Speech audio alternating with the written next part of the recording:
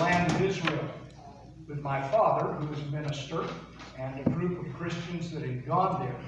And we came to the Jordan River, where Jesus was baptized. And several people, many who had already been baptized, wanted to be baptized in the Jordan River. And so I'll never forget, my dad got into the river, several people came, he baptized every one of them, and then so spiritually, he said, This is something I've always wanted to do. And he took off swimming across the Jordan River. And uh, I was so embarrassed, of course, you know, as a young man. he said, I not only wanted to baptize in the Jordan River, he said, I wanted to swim in the Jordan River. And so down to the river we went, and I'll never forget it. Pastor Ralph, in sharing scriptures with us this morning, read from the Gospel of Matthew in chapter 3, and it was about the baptism of Jesus. You know, there's some topics as a preacher that you want to take your shoes off for when you preach about them. You say, what do you mean, Tim?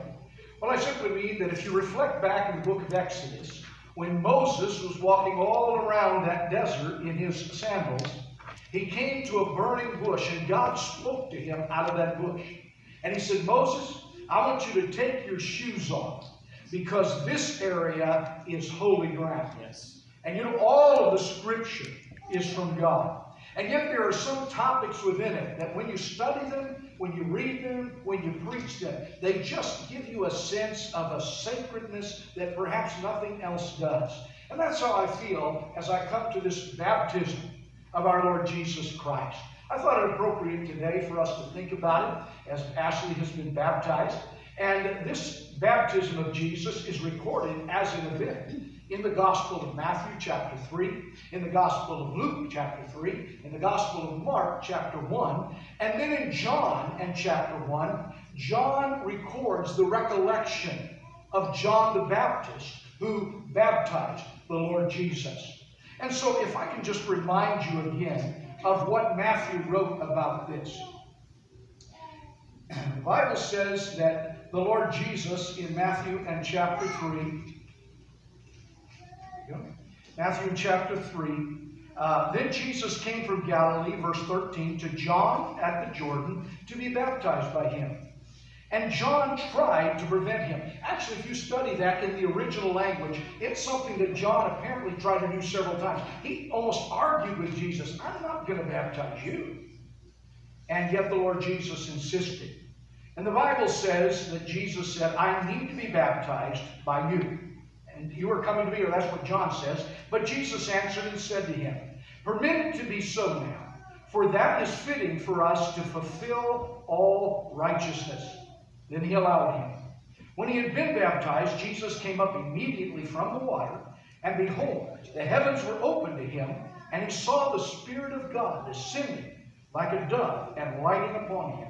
And suddenly a voice came from heaven saying, This is my beloved Son in whom I am well pleased. As I looked at the baptism of our Lord Jesus, three things stood out to me. First of all, the significance of what was happening. Jesus came to John as multitudes were. John had been preaching repentance and that the kingdom of heaven is at hand. So people needed to turn from their wickedness and turn to God. And to demonstrate that in a way that they uh, publicly could to show the change in their heart and their attitude and their lifestyle, they were baptized. And here's Jesus coming and says, John, I want you to baptize me as well. And John says, No way. First of all, Jesus had no sins to confess. Peter records for us that he who had no sin became sin for us. Jesus had no sin to be baptized from, cleansed from, if you will. Secondly, John apparently, though he didn't fully understand who Jesus was, knew that Jesus did not need to be baptized and that Jesus was unique. And he said, No, no, you're not baptizing me. I, I, I'm not going to baptize you. You need to baptize me. But Jesus said, No. He said, John, I want you to baptize me that we might fulfill all righteousness. Now, what did Jesus mean, fulfill all righteousness? You know, it's interesting if, a, as a preacher, sometimes you'll study various commentators or what Bible teachers think a scripture means. And you can look at 10 commentaries on this one and find 10 different ideas of what Jesus meant when he said, fulfill all righteousness. But I'm going to suggest four that spoke to my heart.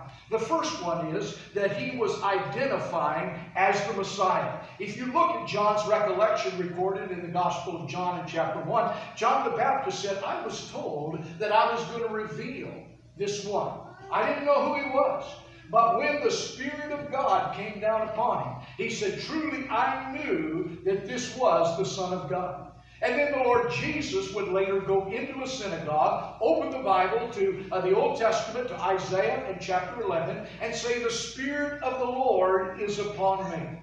And so in that baptism and the Spirit coming down, John says, I understood I was identifying with the Messiah, the one whom God had promised to send to be salvation. Secondly, he was introducing the king. You see, John would preach, Repent, for the kingdom of heaven is at hand.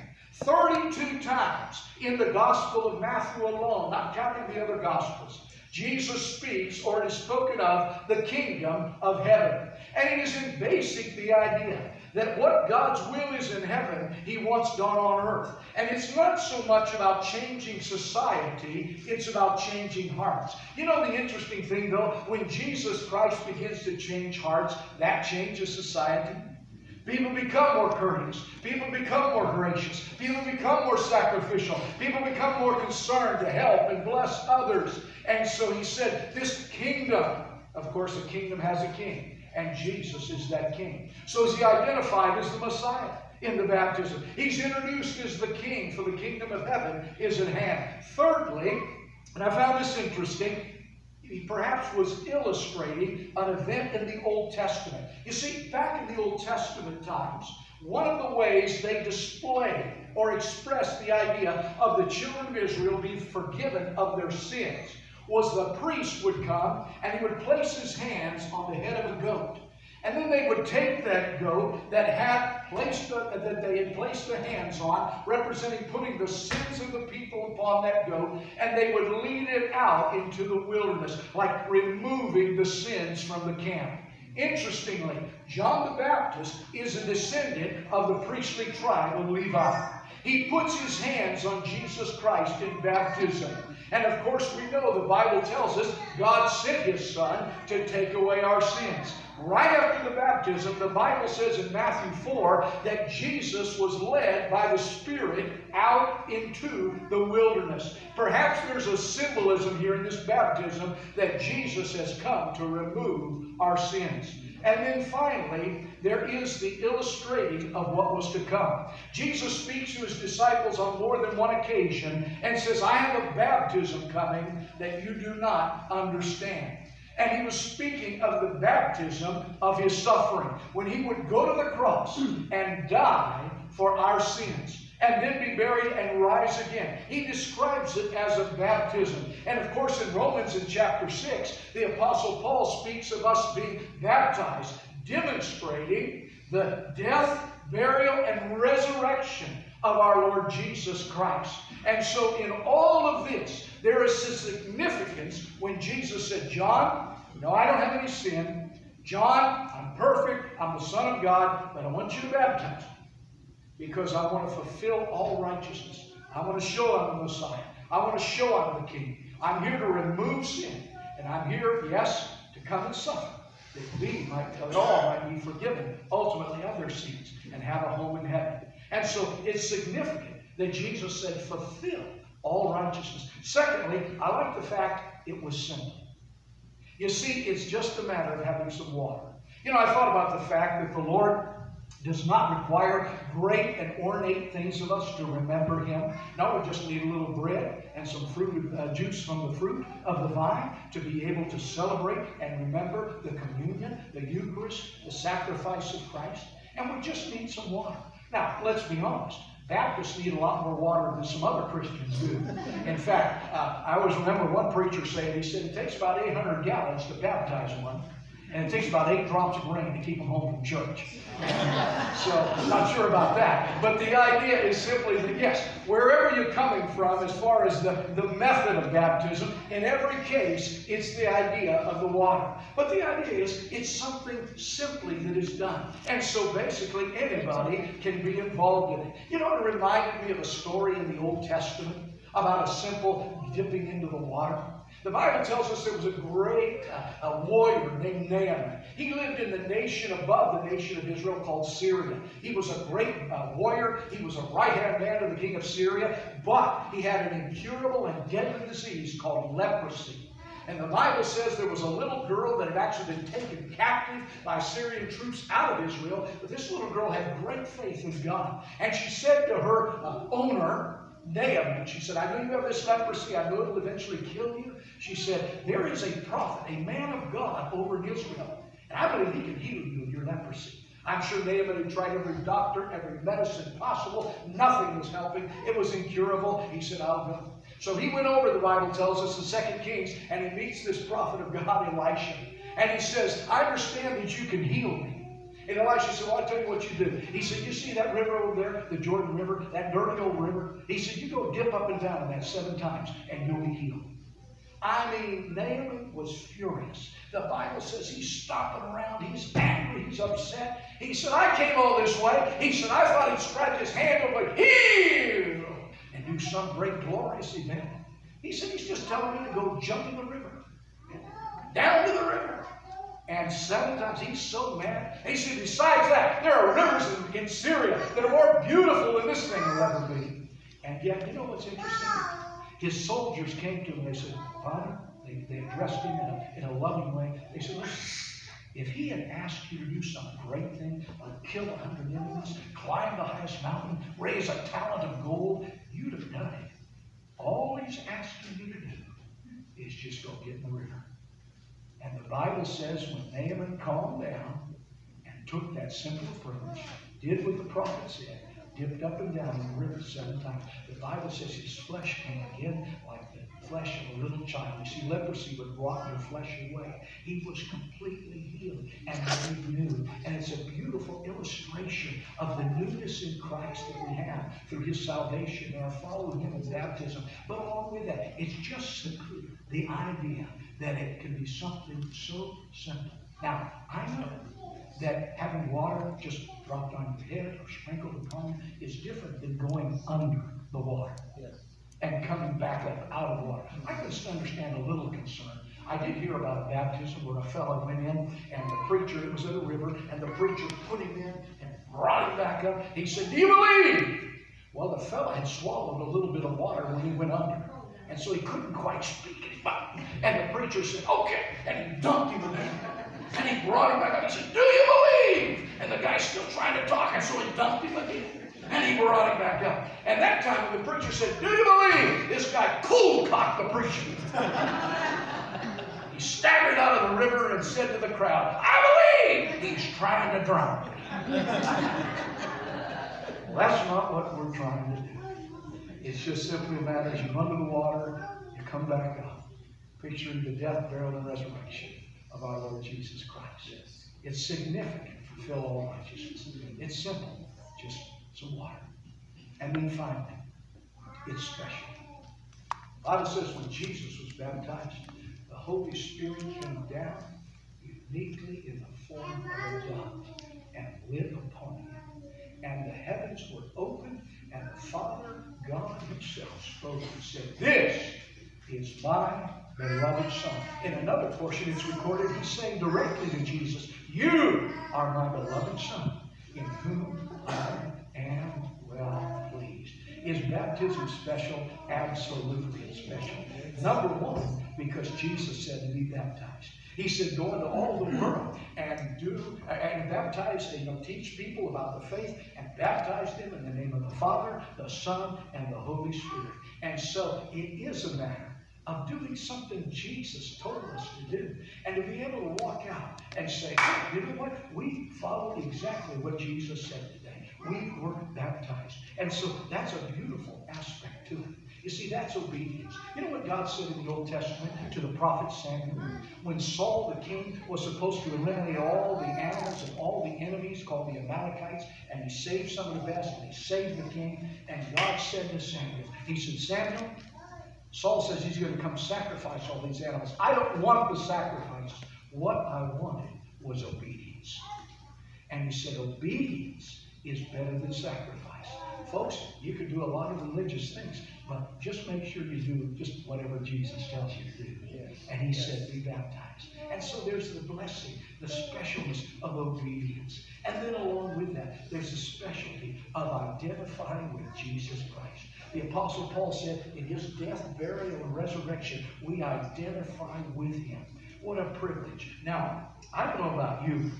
Once in a while, I like to watch TV and get my sermons out. I'm, no, I'm sorry, that's not doing.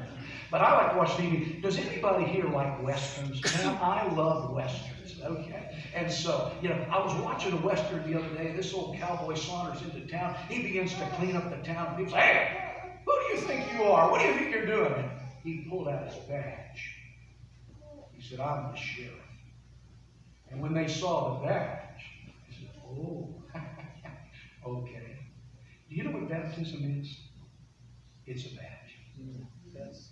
It says, as Ashley has publicly said today in her baptism, I am following Jesus Christ. Yes.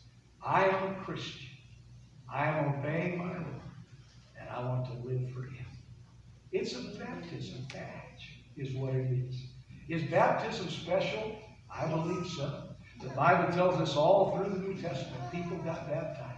And boy, in connection with baptism, the Holy Spirit came. In connection with baptism, some of them spoke in tongues. But always this, Acts in chapter 8. The Bible says in Samaria, Philip the evangelist came. He's preaching the gospel. He's seeing people blessed and healed. And the Bible says as people believed in the Lord, they were baptized. And there was great joy in that city.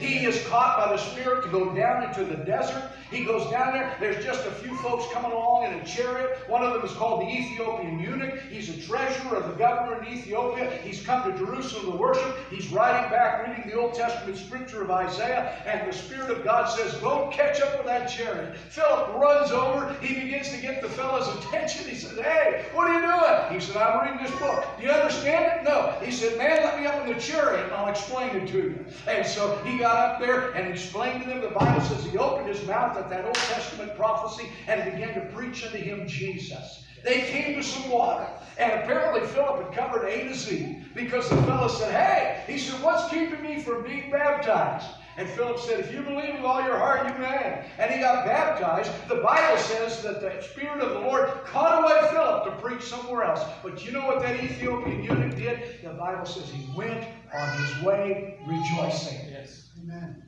I don't think in 40 years of ministry that anybody's ever come to me and said, Man, I regret being baptized. Mm-hmm. Yeah.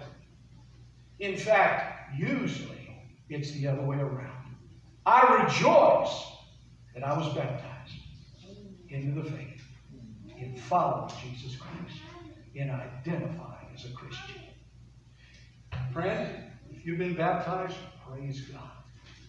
If you haven't been baptized, it's a little bit like my dad says. He's been a preacher for 60 something years. He's preached on baptism a lot of times.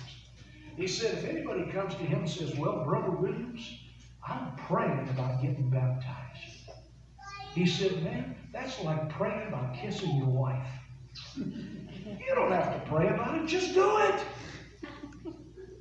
Follow the Lord.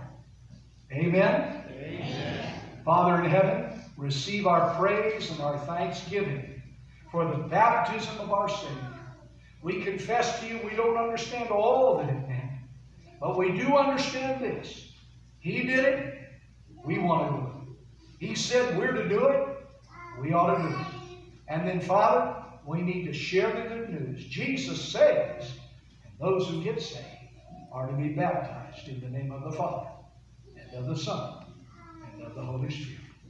Amen. Amen. Stand with me and sing number 480.